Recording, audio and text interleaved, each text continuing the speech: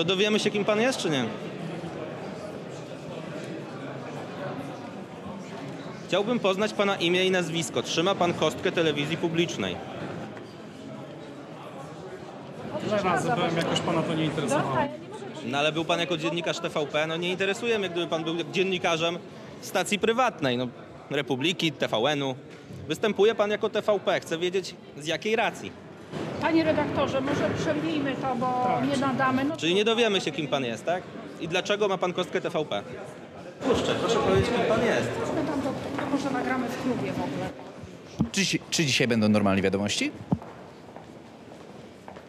To nie do mnie pytanie. No, Pan reprezentuje telewizję publiczną, przynajmniej tak patrząc po kostce. Przedstawi się pan nam, czy nie? Imię, nazwisko. Klasa, redakcja.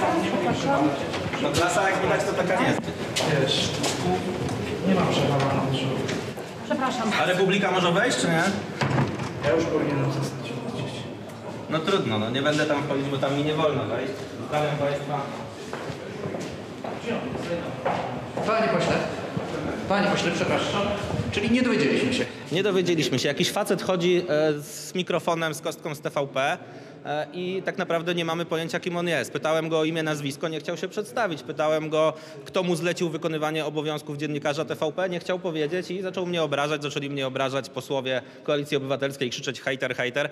Ale naprawdę, ludzie, którzy realizują w dużej mierze niemieckie interesy poprzez swoją politykę, no naprawdę nie są w stanie mnie w żaden sposób obrazić. Mogą krzyczeć hejter, morderca, nie wiadomo co sobie wymyślać. No, trudno, niech sobie krzyczą.